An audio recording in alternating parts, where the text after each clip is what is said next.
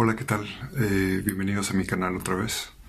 Espero que no se me espanten, pero creo que es tiempo de empezar a, ponernos más serios. Este- he preparado esta entrada um, con un poquito de teoría para revisar un concepto que es clave en mi investigación, que es el concepto de cultura participativa de Henry Jenkins. Para Henry Jenkins, una cultura participativa debe reunir cinco características. Primero, barreras bajas para la participación y el compromiso cívico. Dos, fuerte apoyo para crear y compartir creaciones. Tres, algún tipo de mentoría informal, es decir, que los usuarios más avanzados ayudan o enseñan a los más nuevos. Cuatro, la creencia por parte de los miembros de que su, su contribución es importante. Y cinco, que los miembros sientan entre sí alguna clase de conexión, no necesariamente que sean una comunidad o que se definan en términos de una identidad eh, común, pero sí por lo menos que se interesen por lo que los demás puedan opinar de lo que ellos hacen. Henry Jenkins es un académico norteamericano muy influyente en el cruce de los estudios eh, sobre medios y en los estudios culturales. Él es muy reconocido porque ha- a lo largo de su trayectoria ha reflexionado constantemente sobre los fans, sobre la- las culturas de los fans y sobre cómo lo que los eh, fans eh, hacen en relación con los contenidos mediáticos eh, entra en conflicto con las, es- con las estructuras tradicionales del medio y por otro lado agrega valor a a los contenidos. El primer trabajo de Henry Jenkins famoso por el que se hizo conocido se llama Textile Poachers, que es un trabajo de- que se publicó en 1992. Y lo que él hace ahí es seguir a un grupo de fans de la ciencia ficción eh, para ver cómo se relacionan con los contenidos de la televisión. Es decir, la gran pregunta de Jenkins era en qué medida estas comunidades de usuarios sumamente comprometidos con las franquicias o con los contenidos que les interesan, pensemos en Star Wars, pensemos en Star Trek, en El Señor de los Anillos, en Harry Potter mismo, aún no existía, pero es un fenómeno similar, cómo estos fans participan eh, activamente en la remediación. Ojo, esto es previo a la explosión de las redes digitales. Otro libro clave de Henry Jenkins es Convergence Culture o Cultura de la Convergencia, como se tradujo al castellano. Eh, y para mí es un libro clave, sobre todo si se atiende a su subtítulo que dice Where New Media and Old Media Collide. En este libro lo que eh, Henry Jenkins em- empieza ya a trabajar es cómo estas culturas participativas que vienen desde las culturas de los fans, mu- de muchísimo antes, empiezan a entrar en, en conflicto con un ecosistema mediático propiciado por las nuevas tecnologías de información, por Internet, en donde los espacios empiezan a coexistir y entre los medios tradicionales y lo que los fans hacen. En este libro, Jenkins aborda un capítulo clave que es las famosas Potter Wars, que es el conflicto que se establece entre los fans de Harry Potter y Warner Brothers, que es dueña de los derechos de la, adaptación cinematográfica de las novelas de J.K. Rowling. Eh, un grupo de chicos empiezan a, subir en internet, a abrir sitios que son una especie de periódicos ficticios de Hogwarts, la Academia de Magia, y donde publican historias, eh, continuaciones, un- historias ficticias de, lo que sucedería en esta escuela.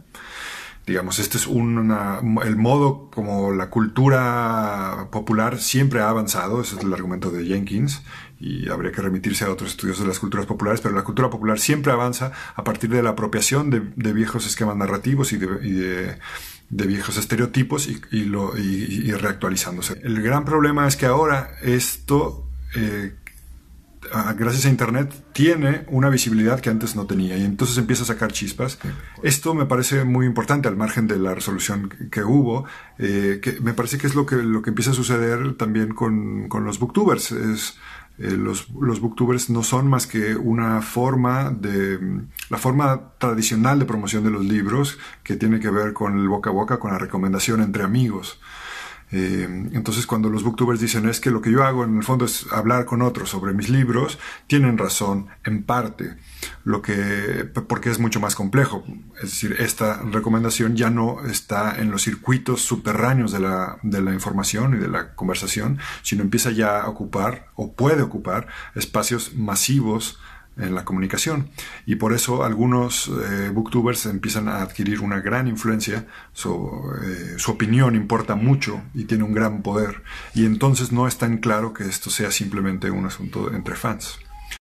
En 2009, a Henry Jenkins y a otros investigadores, la Fundación MacArthur les encarga una investigación que tendría que ver eh, con la educación y que tendría que ver con la forma en que los chicos los adolescentes participan en la creación de medios y en distintas cosas. Y aquí es donde por primera vez aparece eh, el concepto de, cultura participativa como núcleo central del trabajo de Henry Jenkins y de hecho la definición que cité al inicio con los cinco elementos viene de este texto. Jenkins ha reconocido que es a raíz de este trabajo, de este encargo, donde él comprendió que el concepto de cultura participativa iba, podía ir mucho más allá de la simple em, descripción de lo que los usuarios hacían con los medios. Y que este concepto de cultura participativa podría, tener, podría ampliarse muchísimo más hacia la vida política, hacia la vida social, que tenía implicaciones mucho más complejas. Ese mismo año, en 2009, se publica un libro que aunque no es de, de Henry Jenkins, sí es de dos de sus discípulos o dos académicos que tuvieron, recibieron gran influencia de él. YouTube, Online Video and Participatory Culture, de Jan Burgess y John Green. Este es, como se ve, el uno de los primeros análisis sobre YouTube como un sitio privilegiado de la cultura participativa eh, y lo que los autores analizan es cómo em, la participación de los usuarios en YouTube no es un asunto anecdótico o, eh, extraordinario, sino es uno de los, eh, el núcleo central de su propuesta, de su valor. Su lema era Broadcast Yourself. Y bueno, YouTube era muy distinto a lo que es ahora y después nos encargaremos de analizar esos cambios. Pero mm, ahí estaba, y este trabajo de, Burgess y Green es de los, de los pioneros en el análisis de esto. En 2011, en, un número especial del journal Cultural Studies, Nick Oldry, el profesor del London School of Economics y uno de los teóricos de la comunicación más importantes de la actualidad, dedicó un artículo a criticar la posición de Jenkins con el nada diplomático título de More Sociology, More Culture, More Politics más sociología, más cultura, más política. Coldry dice que el análisis de Jenkins, sobre todo en, Convergence Culture, le critica dos cosas. Una es que hace una inferencia falsa sobre la participación. Es decir, el error de Jenkins, según Coldry, consistiría en que como él analiza lo que hacen los usuarios más comprometidos, los más geeks, los más ñoños, los más clavados, vamos a decir, eh, cree que todos los usuarios eh, participamos de la misma manera. Y la segunda crítica que hace Coldry es que Jenkins olvida las relaciones de poder que hay en la participación. Es decir, que esta participación está mediada por mm, los participantes eh, acceden a estas plataformas en condiciones de, mucha desigualdad. Hay unos que han estudiado más, hay unos que han estudiado menos, hay unos que saben usar mejor las cámaras y otros que saben menos. Y es decir, hay una serie de diferencias en términos de género, de raza, de mm, eh, clase social que hace que no todos, que esta participación supuestamente democrática en el fondo no lo sea tanto. Henry Jenkins ha respondido a algunas de estas objeciones eh, sobre su planteamiento en un libro reciente que es una conversación con Dana Boyd y Mizuko Ito, que se llama Participatory Culture in a Networked Era. Y bueno, en este eh, libro se abordan gran parte de estas, de estas objeciones, de estas problemáticas. Jenkins matiza algunas de sus, de sus posiciones, confrontan los límites del concepto y bueno, al final ofrecen una especie de síntesis sobre las posibilidades del concepto de cultura participativa.